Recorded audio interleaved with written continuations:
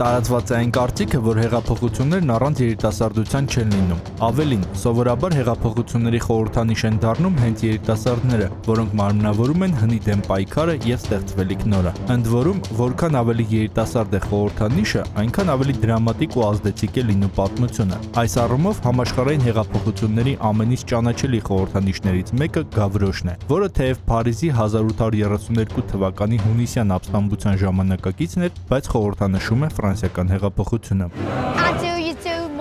Name's Gav Frosh. These my people. Here's my patch. No much to look at. Nothing posh.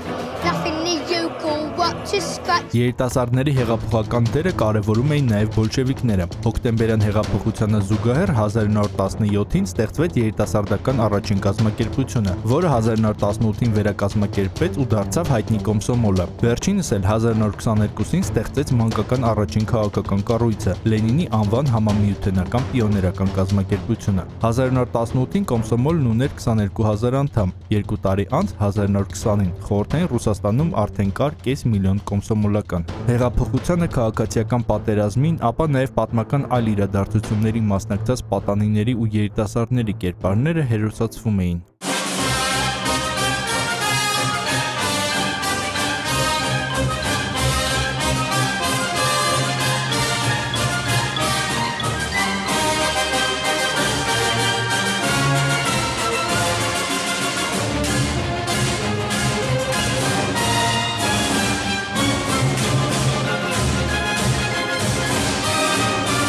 Այդ հերոսացումն ուներ քարոշչական նպատակ։ Նոր իշխանությունը ոչ միայն ցույց էր տալիս իր պայքարի այսպես կոչված պատմական արդարությունը եւ ճշմարտացիությունը, այլև կոնկրետ օրինակներով դաստիարակում էր երիտասարդությանը, դարձնելով իր քաղաքական գլխավոր հենարանը։ Ըստ այդ քարոշչության, որը շատ տարածված է հեղափոխություններից հետո հաստատված ավտորիտար համակարգերում, երիտասարդը պետք է ամեն ինչ զոհի հանուն գաղափարախոսության։ пионер Коля Щеглов, который знает, что такое советский власть для него, для всего народа. Увидав, что родной отец, он ему теперь не родной, он сказал НКВД, чтобы отца уничтожить как врага народа. Вот какие люди у нас, товарищи, есть. Вот какие пионеры у нас есть. Вот где наша сила и мощь. Народе. Քարոշչական եւ ֆունկցիոնալ նմանատիպ պատկերացումներ ուներ նաեւ հիտլերյան հեղափոխությունը։ 1926 թվականին Վեյմարի հանրապետությունում ստեղծված ազգային սոցիալիստական երիտասարդական կազմակերպությունը, որը հետագայում կոչվեց Հիտլեր-Յուգենդ, կարևոր էջ էր ֆաշիստական Գերմանիայի պատմության մեջ։ Կազմակերպության անդամ կարող էին դառնալ 10 տարեկան պատանիները, որոնք ունեին, այսպես ասած, ռասայական մաքրություն։ Պատանիները սկզբում մասնակցում էին նախընտրական արշավներին, թռուցիկներ էին բաժանում, սակայն հետո նրանց դերը փոխվեց։ 1936 թվականին Հիտլեր-Յուգենտի անդամակցությունը դարձավ պարտադիր, իսկ համաշխարհային պատերազմի ժամանակ պատանիները նույնիսկ մասնակցեցին դիվերսիոն գործողությունների։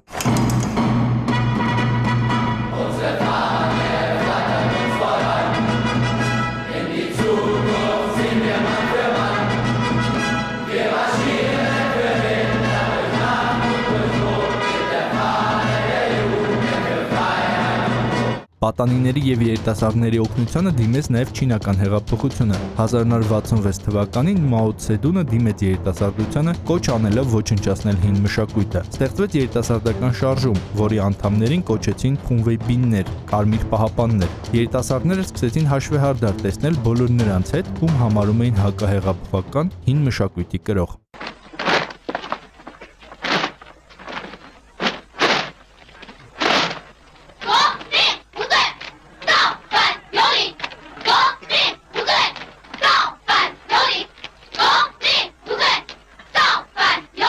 Տարբեր աղբյուրների տվյալներով մշակութային հեղափոխության ժամանակ սպանվեց 500 հազարից 3 միլիոն մարդ, եւս 36 միլիոնը ենթարկվեցին բռնաճնշումների։ Այս հանցագործությունների մի մասն իրականացրել են խունվեյբինները։ Մեկ տարի անց 1967 թվականից իրավիճակը սկսեց դուրս գալ վերահսկողությունից, եւ Մաո Ցեդունը ստիպված եղավ բանակի օգնությամբ զսպել իր հեղափոխական երիտասարդությանը։ Вот придумал им забаву, ихнего ж товарищ Мао. Прих- Не ходите, дети, в школу, приходите без крамолу. И не то, чтобы эти детки были вовсе малолетки. Նոր ժամանակներին բնորոշ Թավշյա հեղափոխությունները եւս հենվում են երիտասարդության վրա, սակայն հարկ է նշել, որ հավատարիմ հրճակված անարյուն կարգախոսներին շատ ավելի պակաս բռնությամբ։ Թեև երբեմն, օրինակ Ուկրաինայում, երիտասարդական տակարինությունը նրանց եւս ներքաշեց արյունալի բախման մեջ։ Գևորգ Մինտերյան, Սուրանկյուն